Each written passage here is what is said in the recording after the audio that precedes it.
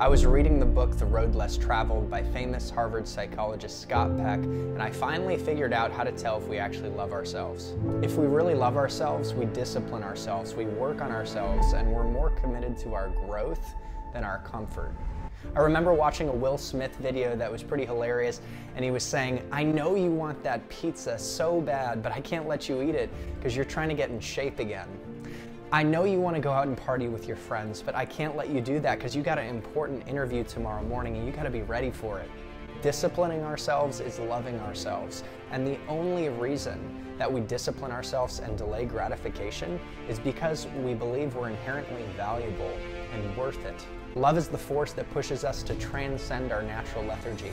It miraculously defies the law of entropy Love is an extension of ourselves and it takes effort. It's when we extend ourselves for our own spiritual growth or we extend ourselves for the spiritual growth of others. When we love, we elevate ourselves. When we love others, we elevate them.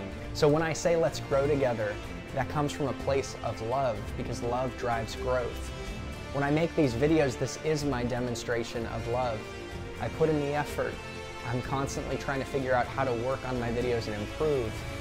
And I put these out in the hopes that one person might benefit from the message. They're not perfect, but love isn't perfect either. And you're probably here because you're committed to growth. And that is a true sign that you love yourself, and that's a beautiful thing. There's nothing more important.